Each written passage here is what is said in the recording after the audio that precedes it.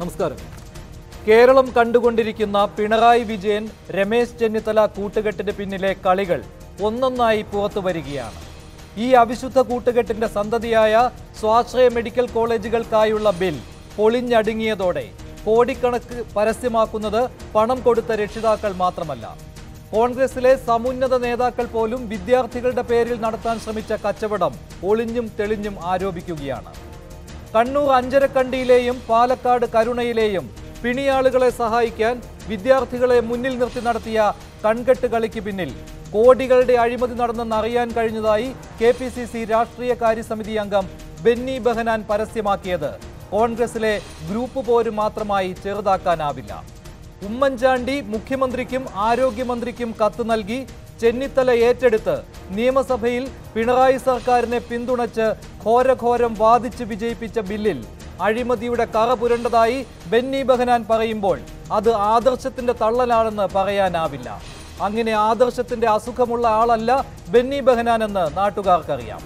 എല്ലാം കഴിഞ്ഞപ്പോൾ ചെന്നിത്തലയെ ഒറ്റപ്പെടുത്താനുള്ള നീക്കമെന്ന് തിരിച്ചറിഞ്ഞ് ഐ ഗ്രൂപ്പ് കെ മുരളീധരനെ മുന്നിൽ നിർത്തി പ്രതിരോധവും തുടങ്ങി. സ്വാശ്രയ മെഡിക്കൽ കോളേജുകളുടെ കൊള്ളയും സർക്കാരിന്റെ ഇരട്ടത്താപ്പും തെളിയിക്കാൻ കിട്ടിയ ഒന്നാം അവസരം കളഞ്ഞു കുളിച്ചിട്ട് പ്രതിപക്ഷം ചക്കളത്തിപ്പോര് നടത്തുകയാണെങ്കിലും കള്ളക്കളി മനസ്സിലാക്കാൻ ജനത്തിന് അവസരം കിട്ടിയിട്ടുണ്ട്. കൊടുത്ത ലക്ഷങ്ങളുടെയും കോടികളുടെയും കണക്ക് പറയാൻ രക്ഷിതാക്കൾ നിർബന്ധിതരായതോടെ കണ്ണൂർ കരുണ കോളേജുകൾ കുടുക്കിലാണിപ്പോൾ. ഈ കുടുക്ക് മുറുക്കി കരുണ കാട്ടാതെ കോളേജുകൾക്കെതിരെ ക്രിമിനൽ കേസെടുക്കാൻ പിണറായി സർക്കാരിന് ആർജവുമുണ്ടോ? ഇതാണ് ഇനി അറിയേണ്ടത്.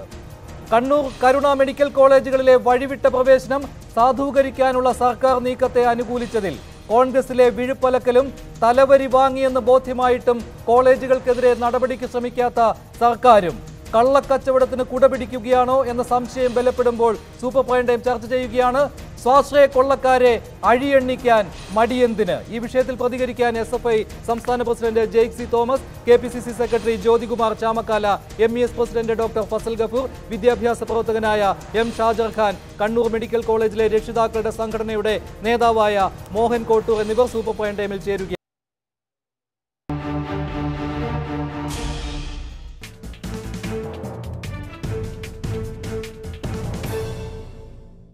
സ്വാശ്രയ കൊള്ളക്കാരെ അഴിയെണ്ണിക്കാൻ മടിയെന്തിന്? ഈ വിഷയമാണ് സൂപ്പർ പോയിന്റ് ചർച്ച ചെയ്യുന്നത്. ശ്രീ ജ്യോതികുമാർ ചാമക്കാല കണ്ണൂർ അഞ്ചരക്കണ്ടി സ്വാശ്രയ മെഡിക്കൽ കോളേജ് അതുപോലെ തന്നെ പാലക്കാട് കരുണ സ്വാശ്രയ മെഡിക്കൽ കോളേജ്. ഈ രണ്ട് കോളേജിനുമായി ബിൽ കൊണ്ടുവന്നിട്ട് ഇപ്പോൾ എന്തിനാണ് ആ ബില്ലിന് പിന്നിൽ അഴിമതി ഉണ്ട് എന്ന് അതായത് കോടികളുടെ അഴിമതി ഉണ്ട് എന്ന ആരോപണം കോൺഗ്രസിൽ നിന്ന് തന്നെ ഉയർന്നു വരുന്നത്?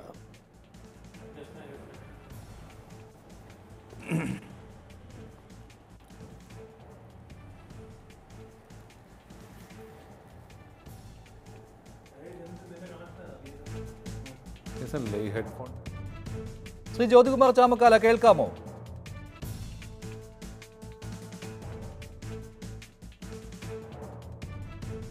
ശ്രീ മോഹൻ കോട്ടൂർ താങ്കൾ കണ്ണൂർ സ്വാശ്രയ മെഡിക്കൽ കോളേജിലെ രക്ഷിതാവാണല്ലോ രക്ഷിതാക്കളുടെ സംഘടനയും അവിടെയുണ്ട്. സ്വാശ്രയ മെഡിക്കൽ കോളേജിൽ പ്രവേശനം നേടിയത് ആ കോളേജ് നിശ്ചയിച്ച പത്ത് ലക്ഷം രൂപ ഫീസ് സ്പെഷ്യൽ ഫീസ് എന്ന രീതിയിൽ ഒന്ന് പോയിന്റ് ആറ് ഏഴ് ലക്ഷം രൂപ. ഇത് മാത്രം കൊടുത്തുകൊണ്ടാണോ? എല്ലാ കുട്ടികളും ഇതേ രീതിയിലാണോ അവിടെ പ്രവേശനം നേടിയത്? അതോ തലവരിപ്പണം കൊടുക്കേണ്ടി വന്നോ ഫീസ് ഒന്നിച്ചു കൊടുക്കേണ്ടി വന്നോ? ഇതാണ് കേരളം കേൾക്കാൻ ആഗ്രഹിക്കുന്ന കാര്യം. പ്രവേശനം സാധൂകരിക്കുന്ന രീതിയിലുള്ളതായിരുന്നോ അല്ലയോ?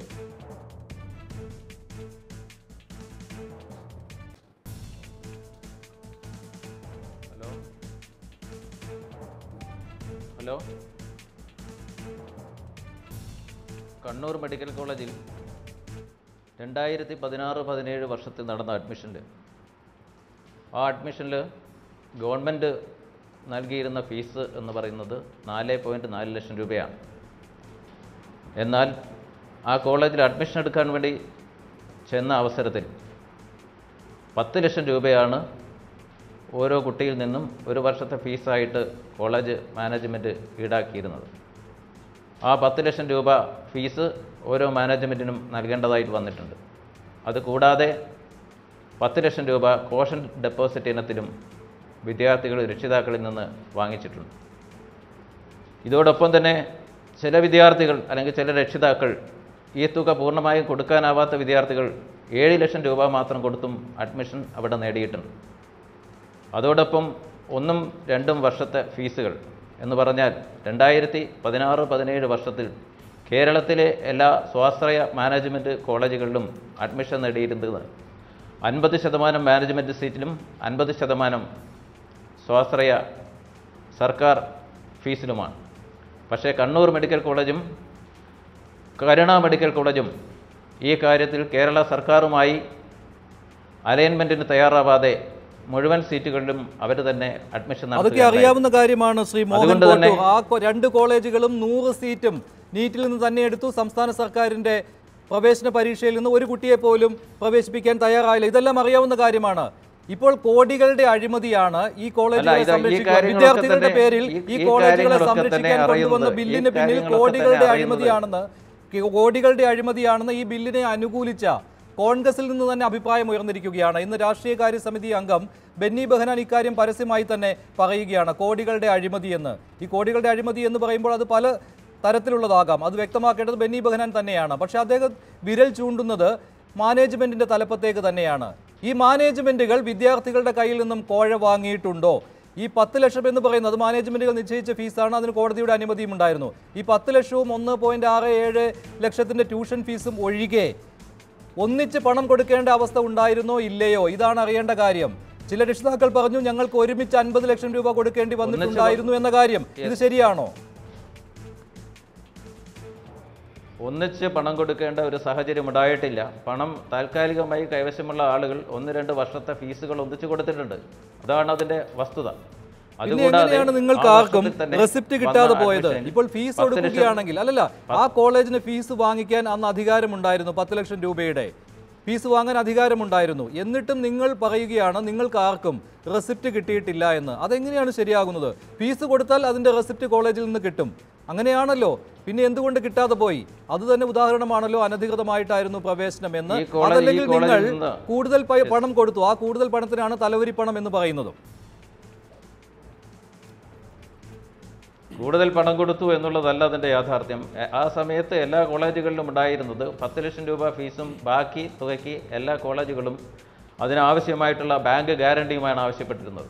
ആ സമയത്ത് രണ്ടായിരത്തി പതിനാറ് പതിനേഴ് വർഷത്തിലെ എല്ലാ സ്വാശ്രയ മാനേജ്മെന്റുകളും ഇതേ രീതിയിൽ തന്നെയാണ് നടപടിക്രമങ്ങളുമായി മുന്നോട്ട് പോയത്. ആ കാര്യത്തിൽ ആർക്കും തന്നെ നിഷേധിക്കാൻ സാധ്യമല്ല. പക്ഷേ ഇതേ കാലയളവിൽ തന്നെ നമ്മളെ സംബന്ധിച്ചിടത്തോളം ആ കോളേജിലെ വിദ്യാർത്ഥികളെ സംബന്ധിച്ചിടത്തോളം തലവരി പണം എന്ന ഒരു വസ്തുത അവിടെ ഉണ്ടായിട്ടില്ല. മറിച്ച് ഓരോ രക്ഷിതാക്കളും അവർക്ക് കഴിയാവുന്ന ഫീസ് തീർച്ചയായിട്ടും ഒരു പത്ത് ലക്ഷവും അതുകൂടാതെ കോഷൻ ഡെപ്പോസിറ്റ് ഡെപ്പോസിറ്റ് ആയിരിക്കുന്ന പത്ത് ലക്ഷം അതെങ്ങനെയാണ് അവർ അവരവർക്ക് പറ്റുന്ന ഫീസ് എന്ന് പറയുമ്പോൾ ഒരു മാനദണ്ഡം മാനദണ്ഡമുണ്ടല്ലോ ഇതിലൊക്കെ. ഒരു മാനദണ്ഡം ഇതിലൊക്കെ ഉണ്ട്. അവരവർക്ക് കഴിയുന്ന ഫീസ് എന്ന് പറയുന്നതാണ് കൂടുതൽ ഫീസ്. അതിനാണ് റെസിപ്റ്റ് കിട്ടാതെ വരുന്നത്. അതെന്തിനാണ് കൊടുക്കുന്നത്? മാനദണ്ഡം മാനദണ്ഡം മാനദണ്ഡം എന്ന് പറയുന്നത് യെസ് യെസ് മാനദണ്ഡം എന്ന് പറയുന്നത് ഒരു വർഷത്തെ ഫീസ് പത്ത് ലക്ഷം രൂപയാണ്. അഞ്ച് വർഷത്തെ മൊത്തം ഫീസ് എന്ന് പറയുന്നത് അമ്പത് ലക്ഷം രൂപയാണ്. പക്ഷേ അമ്പത് ലക്ഷം രൂപയൊന്നും ആരും അവിടെ തന്നെ കൊടുത്തിട്ടില്ല. അതുകൊണ്ടാണ് ഞാൻ പറഞ്ഞത്. പത്ത് ലക്ഷം രൂപ ഫീസും പത്ത് ലക്ഷം രൂപ കോഷൻ ഡിപ്പോസിറ്റും ഈ നിരക്കിലാണ് കോളേജ് മാനേജ്മെന്റ് വാങ്ങിച്ചിരിക്കുന്നത്. അതുകൂടാതെ ചില വിദ്യാർത്ഥികൾ പത്ത് ലക്ഷം രൂപ അഡീഷണലായിട്ട് കൊടുത്തിട്ടുണ്ട്. അങ്ങനെ മുപ്പത് ലക്ഷം രൂപ വരെ കൊടുത്ത രക്ഷിതാക്കൾ അവിടെയുണ്ട്. എന്നെ സംബന്ധിച്ചിടത്തോളം ഞാൻ രണ്ട് വർഷത്തെ ഫീസ് അഡീഷണലായിട്ട് കൊടുത്തതാണ്. അതുകൊണ്ടാണ് ഞാൻ ആ ചർച്ചയിൽ കഴിഞ്ഞ ദിവസം സംസാരിച്ചപ്പോൾ ഞാൻ ആ കാര്യം സൂചിപ്പിച്ചത്. ശരി ശ്രീ മോഹൻ തുക ശരി. താങ്കൾ ഇരുപത് ലക്ഷം രൂപയുടെ കാര്യം സമ്മതിക്കുന്നുണ്ട്. മറ്റു ചില രക്ഷിതാക്കൾ ഇപ്പോഴും കണ്ണീരോടെ പറയുന്നുണ്ട്. അഞ്ചു അഞ്ച് വർഷത്തെയും ഫീസ് ഒന്നിച്ചു കൊടുത്തു എന്ന കാര്യം പറയുന്ന രക്ഷിതാക്കളും ഉണ്ട് കൂട്ടത്തിൽ. ഒരു വർഷത്തെ ഫീസ് മാത്രം അടച്ചവരും ഉണ്ട് എന്നതും ശരി തന്നെയാണ്. ശ്രീ ജ്യോതികുമാർ ചാമക്കാല എന്ത് സംശയമാണ് ഇപ്പോൾ കോൺഗ്രസ് നേതാക്കൾക്ക് ഉണ്ടാകുന്നത് ഈ ബില്ലിനെ വിദ്യാർത്ഥികളുടെ പ്രവേശനത്തെ സാധൂകരിക്കുന്നതിന് വേണ്ടിയുള്ള ബില്ലിനെ ഒറ്റക്കെട്ടായി അനുകൂലിക്കുന്നു. U D F M L എമാർ എന്നിട്ടിപ്പോൾ കോൺഗ്രസ് നേതാക്കൾ വെളിയിൽ വന്ന് പറയുകയാണ് കോടികളുടെ അഴിമതി നടന്നുവെന്ന്. എന്ത് അഴിമതിയാണ് സംശയിക്കുന്നത്? ആരാണ് അഴിമതി നടത്തിയത്? അങ്ങനെ അഴിമതി നടത്തിയിട്ടുണ്ടെങ്കിൽ അതിലൊരു പങ്ക് യു ഡി എഫ് നേതാക്കൾക്കും ഉള്ളതാണല്ലോ. കാരണം ഒറ്റക്കെട്ടായാണ് ഈ ബിൽ പാസ്സായത് നിയമസഭയിൽ.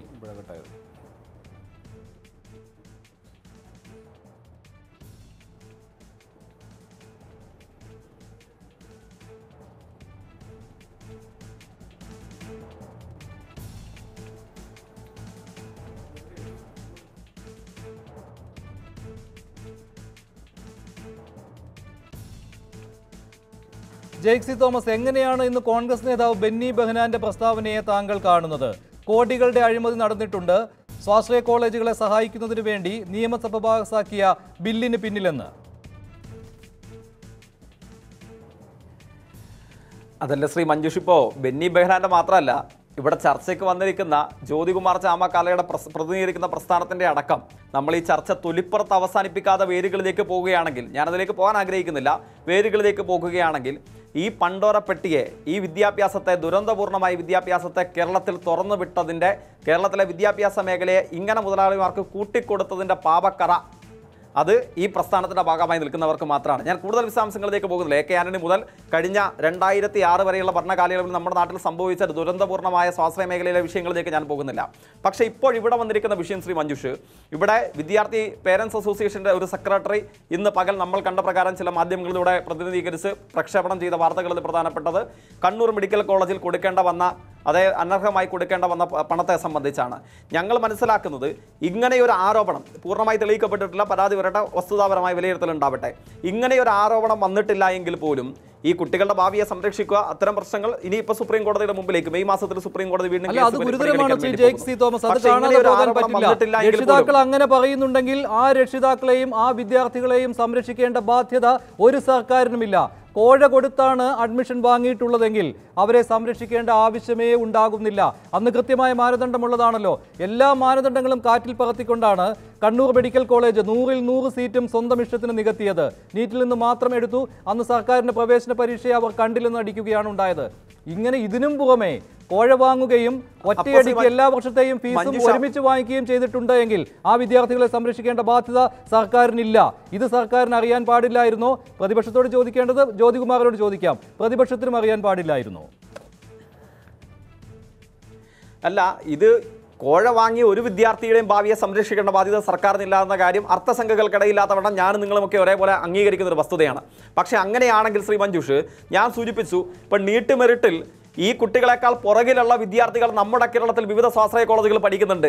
അപ്പോൾ ഈ അങ്ങനെ കോഴ വാങ്ങിയിട്ടുണ്ട് എന്നൊരു വാദത്തിന് ഇപ്പോൾ അംഗീകരിക്കപ്പെടുകയാണെങ്കിൽ ഈ കണ്ണൂർ കരുണ മെഡിക്കൽ കോളേജുകൾ മാത്രമാവില്ലല്ലോ കോഴ നടന്നിട്ടുണ്ടാവുക. അത്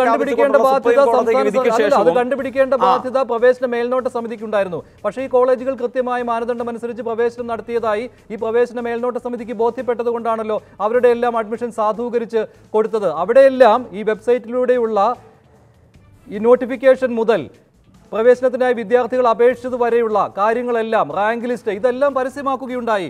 എന്നാണ് റാങ്ക് ലിസ്റ്റ് ഈ അഞ്ചരക്കണ്ടി മെഡിക്കൽ കോളേജും കണ്ണൂർ കരുണ കോളേജും ഒക്കെ നൽകിയത്. എവിടെയാണ് അവർ വെബ്സൈറ്റിലൂടെ പ്രവേശന മാനദണ്ഡങ്ങൾ പ്രഖ്യാപിച്ചത്? പ്രവേശനത്തിനായി നോട്ടിഫിക്കേഷൻ ക്ഷണിച്ചത്? ഇതൊന്നും ഉണ്ടായില്ല. ഈ മാനദണ്ഡങ്ങൾ ലംഘിച്ചത് കൊണ്ടാണല്ലോ പ്രവേശന സമിതിയാണല്ലോ നമ്മൾ വിശ്വാസത്തിലെടുക്കുന്നത് രണ്ടായിരത്തി ആറിൽ കൊട്ടിഘോഷിച്ചുകൊണ്ട് എം എ ബേബി കൊണ്ടുവന്ന നിയമം ഹൈക്കോടതിയെ എടുത്ത് ചവറ്റുകൊട്ടയിൽ ഇട്ടപ്പോഴും ഈ പ്രവേശന മേൽനോട്ട സമിതിയെ മാത്രമാണ് ഹൈക്കോടതി നിലനിർത്തിയത്. ആ മേൽനോട്ട സമിതിക്ക് ഒരു ക്രെഡിബിലിറ്റി ഉണ്ട്. ആ ക്രെഡിബിലിറ്റിയാണ് ഇല്ലാതാക്കിയത്. അതായത് അവരെയാണ് അംഗീകരിക്കാതിരുന്നത് ഈ സ്വാശ്രയ മെഡിക്കൽ കോളേജ് മാനേജ്മെന്റ്. അപ്പോൾ അവർ നടത്തുന്ന പ്രവേശനമെല്ലാം സാധൂകരിച്ചു കൊടുക്കേണ്ട എന്ത് ബാധ്യതയാണ് സംസ്ഥാന സർക്കാരിനും പ്രതിപക്ഷത്തിനുമുള്ളത്? മറ്റു കോളേജുകളെ ഇക്കാര്യത്തിൽ കുറ്റം പറയേണ്ട കാര്യമില്ലല്ലോ. അവിടെ എനിക്ക് ആ ചർച്ചയോട് സാങ്കേതികമായി വിയോജിച്ചുകൊണ്ട് എനിക്കൊരു പ്രധാനപ്പെട്ട വാദം ഉന്നയിക്കാനുള്ളത്. നിങ്ങൾ തെറ്റുണ്ടെങ്കിൽ നിങ്ങൾ തിരുത്തി തന്നെ ഞാനത് അംഗീകരിക്കാം. ഇവിടെ ബാക്കി എല്ലാ കോളേജുകളിലും ഓൺലൈനായി അപേക്ഷ കൊടുത്ത് സുതാര്യമായി തന്നെ അഡ്മിഷൻ പ്രക്രിയ നടത്തപ്പെട്ടു. പക്ഷേ ഇവിടെ നമ്മൾ പരിശോധിക്കേണ്ട രണ്ട് കാര്യമുണ്ട്. ഇപ്പോൾ കണ്ണൂർ കരുണ മെഡിക്കൽ കോളേജിൽ ഇപ്പോൾ നിങ്ങൾ പറഞ്ഞ ബാക്കിയുള്ള കാര്യങ്ങൾ വാദത്തിന് വേണ്ടി അംഗീകരിക്കുകയാണെങ്കിൽ പണം കൊടുക്കാൻ വിദ്യാർത്ഥികൾ തയ്യാറായി. ബാക്കി കേരളത്തിലെ ഇതര സ്വാശ്രയ കോളേജുകളെക്കാൾ ബെറ്റർ നീറ്റ് റാങ്കിങ്ങിൽ മെറിറ്റ് മെറിട്ടോറിയസ് ആയിട്ടുള്ള കുട്ടികൾ ഇവിടെ പഠിക്കുന്നുണ്ട്. അങ്ങനെ നീട്ട് മെറിറ്റിൽ പുറന്തള്ളപ്പെട്ട് പോവാതെ എന്നാൽ കൊടുക്കാൻ പണവുമുള്ള വിദ്യാർത്ഥികൾ എന്തിനു വേണ്ടിയിട്ടായിരിക്കും സാങ്കേതികമായി ഓൺലൈൻ അപേക്ഷ എന്ന് പറയുന്ന ഒരു കാര്യം അപേക്ഷിക്കാതിരുന്നത്? എന്തിനു വേണ്ടിയിട്ടായിരിക്കും അത് മാത്രം മറച്ചു വെക്കേണ്ട ഒരു സ്ഥിതി ഉണ്ടായത് ഇവർ നീട്ട് നീട്ട് റാങ്ക് ലിസ്റ്റിൽ പരിശോധിക്കുമ്പോൾ ഇവരെക്കാൾ മോശപ്പെട്ട കുട്ടികൾ കേരളത്തിൽ പഠിക്കുന്നുണ്ട്. ഇവരുടെ കയ്യിൽ കൊടുക്കാൻ പണം ഉണ്ടായിരുന്നോ എന്ന് ചോദിച്ചാൽ മറ്റേത് മെഡിക്കൽ കോളേജിലും കൊടുത്ത് സീറ്റ് വാങ്ങാൻ കഴിയുന്ന പണം ഇവരുടെ കയ്യിലും ഉണ്ടായിരുന്നു. അങ്ങനെയാണെങ്കിൽ എന്തുകൊണ്ട് ഇവർ ഓൺലൈൻ അപേക്ഷ മാത്രം കൊടുക്കുന്നതിൽ ഇവർ എന്തുകൊണ്ട് ഒരു പോരായ്മ കാണിച്ചിട്ടുണ്ടാകാം? അത് വളരെ എളുപ്പത്തിൽ പ്രവേശനം കിട്ടുമെന്ന് അവർക്ക് ബോധ്യമുണ്ടായിരുന്നു. അല്ലല്ല അവിടെ വളരെ എളുപ്പത്തിൽ പ്രവേശനം കിട്ടുമെന്ന് അവർക്ക് ബോധ്യമുണ്ടായിരുന്നു. ഒരു മാനദണ്ഡവും ഇല്ലാതെയാണ് അവിടെ പ്രവേശനം നടത്തുന്നതെന്ന് അവർക്ക് ബോധ്യമുണ്ടായിരുന്നു. അങ്ങനെയാണ് അവർ ഈ കോളേജ് തേടി പോയത്. അതുകൊണ്ടാണല്ലോ അൻപത് ലക്ഷവും ഒരു കോടിയും ഒക്കെ കൊടുക്കാൻ അവർ തയ്യാറായത്? ഇല്ല എന്ന് രക്ഷിതാക്കൾ പറയുമോ ഇല്ലല്ലോ. ഇപ്പോൾ മോഹൻ കോട്ടൂര് പറയുന്നുണ്ട്. ഒടുവിൽ ഒരു ഇരുപത് ലക്ഷത്തിന്റെ കണക്ക് മുതൽ പിന്നെ ഒരു മുപ്പത് ലക്ഷത്തിന്റെ കണക്ക് വരെ പറഞ്ഞു. അതൊന്നുമല്ല അവിടെ സംഭവിച്ചിരിക്കുന്നത്. അതിലുമേറെ പണം കൊടുത്തവർ ആ കോളേജിൽ പ്രവേശനം നേടിയിട്ടുണ്ട്. താങ്കളും അന്വേഷിച്ച് മനസ്സിലാക്കിയിട്ടുള്ള കാര്യമാണല്ലോ ജെയ്ക് സി തോമസ്. നാല് ലക്ഷത്തി മൂവായിരത്തി ഒൻപത് റാങ്കിംഗ് വരെയുള്ള കുട്ടികൾ അവിടെ പ്രവേശനം നേടിയിട്ടുണ്ട്. അപ്പോൾ അവർ ഈ കോളേജിൽ എളുപ്പത്തിൽ പ്രവേശനം കിട്ടും. മാനദണ്ഡം പാലിക്കുന്നില്ല എന്ന് ബോധ്യപ്പെട്ടതുകൊണ്ടാണ് അവിടെ അപേക്ഷിച്ചതും പ്രവേശനം നേടിയതും. മഞ്ജുഷ് പറഞ്ഞ ചോദ്യത്തിൽ തന്നെ അതിന്റെ ഉത്തരം ബാക്കിയായി കിടക്കുന്നുണ്ട്. എന്റെ സംശയം ബാക്കിയായി കിടക്കുന്നുണ്ട്. നാല് ലക്ഷത്തി മുപ്പതിനായിരത്തി ഒൻപത് റാങ്കുള്ള ഒരു കുട്ടി കണ്ണൂർ മെഡിക്കൽ കോളേജിൽ പ്രവേശിച്ചു എന്ന് ഉറപ്പ് ഉറപ്പുവരുത്തി കഴിയുമ്പോൾ തന്നെ നാല് ലക്ഷത്തി മുപ്പത്തി അയ്യായിരത്തിൽ താഴെ റാങ്കുള്ള മറ്റൊരു കുട്ടി എറണാകുളം ശ്രീനാരായണ മെഡിക്കൽ കോളേജിൽ ചേർന്ന് പഠനം നടക്കുന്നുണ്ട്. അപ്പോൾ മെറിട്ടോറിയസ് ആയി ഇതിനേക്കാൾ മോശപ്പെട്ട കുട്ടികൾ ഇതര സ്വാശ്രയ കോളേജുകളിൽ പഠിക്കുന്നു. ഇവർ ശ്രീ അതിനുമുണ്ടല്ലോ ന്യായീകരണം തോമസ്. അല്ലല്ല ഇതെല്ലാം കണ്ടെത്തേണ്ടത് പ്രവേശന മേൽനോട്ട സമിതിയാണ്. ആ കോളേജ് താങ്കൾ സൂചിപ്പിച്ച ഈ കോളേജ് അവർ അവർ ഇങ്ങനെ ആപ്ലിക്കേഷൻ ക്ഷണിക്കുമ്പോൾ അവിടെ കുറേ വിദ്യാർത്ഥികൾ അപ്ലൈ ചെയ്യുന്നു. അവരിൽ നിന്ന് ഒരു ലിസ്റ്റ് തയ്യാറാക്കുകയാണ്. റാങ്കിന്റെ അടിസ്ഥാനത്തിൽ. ഈ ലിസ്റ്റ് ബോധ്യപ്പെടുകയാണ് പ്രവേശന മേൽനോട്ട സമിതിക്ക്. അങ്ങനെ ലിസ്റ്റ് ബോധ്യപ്പെടാതെ പ്രവേശന മേൽനോട്ട സമിതി റദ്ദാക്കിയ പ്രവേശനങ്ങളിൽ അഞ്ചരക്കണ്ടി മെഡിക്കൽ കോളേജിന്റെയും കരുണയുടെയും മാത്രമല്ല K M C T A പിടിച്ചുവല്ലോ പ്രവേശന മേൽനോട്ട സമിതി. പല കോളേജുകൾക്കും അന്ന് നോട്ടീസ് കൊടുത്തുവല്ലോ വിശദീകരണ കുറിപ്പ് കൊടുത്തുവല്ലോ വെബ്സൈറ്റിൽ ഇപ്പോഴും കയറി നോക്കിയാൽ അറിയാം. പ്രവേശന മേൽനോട്ട സമിതിയുടെ വെബ്സൈറ്റിൽ പല കോളേജുകൾക്കുമുള്ള നോട്ടീസ്. ഇതിലെല്ലാം അന്തിമമായി പരാജയപ്പെട്ടത് ഒരു രേഖയും ഹാജരാക്കാത്ത കണ്ണൂർ അഞ്ചരക്കണ്ടി മെഡിക്കൽ കോളേജാണ്. എന്തുകൊണ്ട് അന്വേഷിക്കാൻ സർക്കാർ സംവിധാനത്തിന് കഴിഞ്ഞില്ല? ഇങ്ങനെ നടന്നിട്ടുണ്ട് എന്ന് പ്രവേശന മേൽനോട്ട സമിതിയെ വിശ്വാസത്തിലെടുക്കാൻ പാടില്ലായിരുന്നോ? മറ്റു കോളേജുകളിലേക്ക് ഇപ്പോൾ കുറ്റം പറഞ്ഞതുകൊണ്ട് കാര്യമുണ്ടോ? രണ്ട് രണ്ട് കാര്യങ്ങൾ. ഞാൻ മറ്റുള്ള കോളേജിലേക്ക് കുറ്റം പറഞ്ഞല്ല ഞാൻ ഈ സംവാദത്തിനകത്ത് ഏറ്റവും പ്രസക്തമായ ഒരു ചോദ്യം ഞാൻ തിരികെ ഉന്നയിച്ചതാണ് ഇപ്പൊ മഞ്ജുഷ് ഉന്നയിച്ച ഏറ്റവും പ്രധാനപ്പെട്ട ചോദ്യത്തിന് മറുപടിയിലേക്ക് വരാം. അതിനുശേഷം ഞാൻ അതിന്റെ പിന്നാലെയുള്ള ബാക്കി കാര്യങ്ങളിലേക്ക് വരാം. ഇവിടെ കണ്ണൂർ മെഡിക്കൽ കോളേജ് ആണെങ്കിലും അതേപോലെ തന്നെ കരുണ മെഡിക്കൽ കോളേജ് ആണെങ്കിലും കാലാകാലങ്ങളായി നമ്മുടെ കേരളത്തിൽ അധികാരത്തിൽ വന്ന എല്ലാ സർക്കാരുകളെയും വെല്ലുവിളിച്ചുകൊണ്ട് അഡ്മിഷൻ പ്രക്രിയ നടത്തിക്കൊണ്ടിരുന്നതാണ്. ഇപ്പോൾ ജബ്ബാർ ഹാജി ഉൾപ്പെടെയുള്ള കണ്ണൂർ മെഡിക്കൽ കോളേജിലെ മേലധികാരികൾക്ക് ഒരു ധാരണയുണ്ടായിരുന്നത് ഈ കേരളത്തിൽ ഇങ്ങനെ ഒരു റെഗുലറൈസേഷൻ നടന്നില്ലെങ്കിൽ ചിലപ്പോൾ മെഡിക്കൽ കൗൺസിൽ ഓഫ് ഇന്ത്യയുടെ അംഗീകാരം വാങ്ങിയിട്ടാണെങ്കിലും കേരളത്തിലെ മെഡിക്കൽ കോളേജ് നടത്തിക്കൊണ്ട് പോകാം എന്ന അഹങ്കാരം ചിലപ്പോൾ അയാൾക്ക് ഉണ്ടായിരുന്നായിരിക്കാം. പക്ഷേ ഇനി ഞങ്ങൾ ആവശ്യപ്പെടുന്നത് സർക്കാർ തീരുമാനിക്കേണ്ടത് ഒരു കാരണവശാലും പാലക്കാട് കരുണയും കണ്ണൂർ അഞ്ചരക്കണ്ടി മെഡിക്കൽ കോളേജും വരുന്ന വർഷം ഇതേപോലെ സ്വതന്ത്രമായി ഇങ്ങനെ അവരുടെ തന്നിഷ്ടത്തിന് ഒരു കാരണവശാലും അഡ്മിഷൻ നടത്താൻ വിട്ടുകൊടുക്കാൻ പാടില്ല. എന്തെങ്കിലും തരത്തിൽ പാലക്കാട് കർണയിലും കണ്ണൂർ മെഡിക്കൽ കോളേജിലും അഡ്മിഷൻ നടക്കുന്നുണ്ടെങ്കിൽ അത് പൂർവകാലത്ത് പണ്ട് മലബാർ മെഡിക്കൽ കോളേജിൽ നടന്നതുപോലെ കർശനമായി അവിടുത്തെ മുഴുവൻ സീറ്റുകളും ഏറ്റെടുത്ത് സർക്കാർ മേൽനോട്ടത്തിൽ സർക്കാരിന്റെ നിയന്ത്രണത്തിൽ അഡ്മിഷൻ നടത്തുന്ന നിലയിലേക്ക് പരിപൂർണമായി എ എസ് ഐയുടെ തീരിൽ അവരുടെ ഓഡിറ്റിംഗ് നിയന്ത്രണത്തിൽ അഡ്മിഷൻ നടത്തുന്ന നിലയിലേക്ക് മാറ്റിയെടുക്കാൻ വേണ്ടി കഴിയണം. ഇപ്പോൾ കാണിച്ചിട്ടുള്ള ഈ നിയമവിരുദ്ധവും ക്രമവിരുദ്ധവുമായ ബാക്കിയുള്ള കേസ് നമ്മുടെ നാട്ടിൽ അധികാരത്തിൽ വന്ന സർക്കാരിനെയും സുപ്രീം കോടതിയുടെ വിധിയെയും വെല്ലുവിളിച്ചുകൊണ്ട് ഇവർ കാണിച്ചിട്ടുള്ള മുഴുവൻ നീതിവിരുദ്ധമായ പ്രവർത്തനങ്ങൾക്കും കർശനമായ നടപടി കോളേജിനെ ഇനി കേരളത്തിൽ തുടർന്ന് പ്രവർത്തിക്കേണ്ടതില്ല എന്ന നിലയ്ക്ക് കർശനമായ നടപടി ക്രിമിനൽ കേസ് എടുക്കണമെന്ന്. ആവശ്യപ്പെടൂ അവിടെ തലവരിപ്പണം വാങ്ങിയിട്ടുണ്ട്. സുപ്രീം കോടതി അനുവദിച്ചിട്ടില്ലല്ലോ തലവരിപ്പണം വാങ്ങാമെന്ന്. രക്ഷിതാക്കൾ തന്നെ തുറന്നു പറയുകയാണ് തലവരിപ്പണം വാങ്ങിയിട്ടുണ്ട്. മാനദണ്ഡം പാലിക്കാതെ ഫീസ് വാങ്ങിയിട്ടുണ്ട്. ക്രിമിനൽ കേസ് എടുക്കാൻ എന്തുകൊണ്ട് ധൈര്യം വരുന്നില്ല? രണ്ടായിരത്തി ആറ് മുതൽ പറഞ്ഞു തുടങ്ങിയതാണല്ലോ. വിജിലൻസിനെ കൊണ്ട് ഞങ്ങൾ പരിശോധിപ്പിക്കും പിടിപ്പിക്കുമെന്നൊക്കെ. ഒരു കോളേജിനെയും ഇതുവരെ പിടി- പിടിപ്പിച്ചിട്ടില്ല. ഇല്ല ഞങ്ങൾ അങ്ങനെ തന്നെയാണ് ആവശ്യപ്പെടുന്നത്. ക്രിമിനൽ കേസ് എടുത്താൽ മാത്രം പോരാ. ഇനി ഈ കോളേജുകളെ നമ്മുടെ നാട്ടിൽ കേരളത്തിന്റെ മണ്ണിൽ പ്രവർത്തിക്കപ്പെ ഇങ്ങനെ തന്നിഷ്ടപ്രകാരം പ്രവർത്തിക്കപ്പെടാൻ വിടാൻ പാടില്ല. അതിനുള്ള ഉജ്ജ്വലമായ നടപടി ജ്യോതികുമാർ ചാമക്കാല എന്താണ് കോൺഗ്രസ് നേതാക്കളുടെ ഇപ്പോഴത്തെ പരിഭവം? ആര് അഴിമതി നടത്തി എന്നാണ്? ആര് കാശ് വാങ്ങി എന്നാണ്? അങ്ങനെ കോഴപ്പണം വാങ്ങിയിട്ടുണ്ടെങ്കിൽ അതിലൊരു പങ്ക് യു ഡി എഫ് പാളയത്തിലേക്ക് വന്നിട്ടുണ്ടാവുമല്ലോ. അതുകൊണ്ടാണല്ലോ സോമനസാലെ എല്ലാവരും ബില്ലിലെ അനുകൂലിച്ചത്.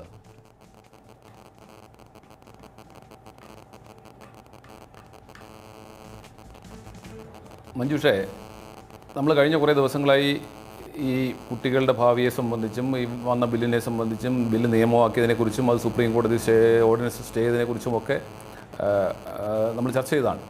അപ്പോൾ അതിനകത്ത് ഇനി ചെറുത ചെറുവണം നടത്തിയിട്ട് കാര്യമൊന്നുമില്ല. കുട്ടികളെ ഭാവിയെ സംബന്ധിച്ചാണ് നമ്മളിങ്ങനെ ചെയ്തത്. കുട്ടികൾ